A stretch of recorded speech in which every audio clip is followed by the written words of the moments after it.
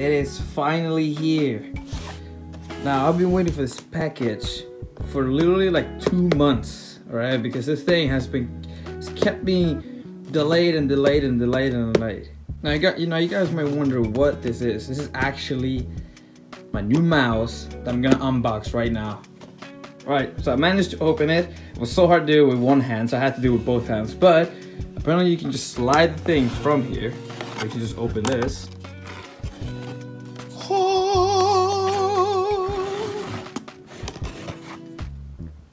This beauty right here, which is the Logitech G Pro Superlight. Now, I'm gonna unbox it, see how it looks like. I might actually do this with one hand now. Ah. I've been waiting two months for you, baby. Now I just noticed now to open it, I actually did order it white. I just hope I didn't get, you know, the, the wrong color. I literally wanted a white one. Now I get a black one. Like I don't, I hope not. I hope it's not black. All right, so you have to like slide this thing up. Yeah, yeah. Come on, come on, dude. Dude, this is so hard to do with one hand. Literally, I don't know how every unbox people can actually unlock. Okay, let me see. Whew. I actually got it black. Dude, no, they actually got it wrong. They actually got the wrong color. I mean, here, let me just check it out. Oh my mate, no way. What is this? this is, it's literally nothing. I'm shocked. I'm actually shocked. Like, how the hell did it manage to make it a mouse weight this? Like 63 grams, but I've heard it weighs a little bit less than that. Now this is insane. Like it's, I feel like it's just empty. Like it has nothing in it. All right, scroll wheel is, is nice though, really nice. But hello? Wow, this is actually insane. Now, I am gonna do a test run on it just to see what a difference the comparison between this one and the original mouse that I have right now with the Logitech G Pro wired, which is this baby right here. Well, you can't really see it, black with my mouse pad, but this mouse has been so loyal to me for like years now. And this weighs around like 83, I think, maybe 86. This is impressive. Like it feels like it's just this, like the, the mouse, like it feels like it's a toy. Now I know they removed the RBG for it, but really the RBG really doesn't do a lot. I don't feel like it, it, it adds. Sure, it looks fancy, but I feel like if you're competitive and just and want a wireless mouse that really doesn't die that quick, this was a worthy sacrifice. Removing the RPG is a worthy sacrifice. All right, so here comes a little bit of gameplay of me playing with this beast.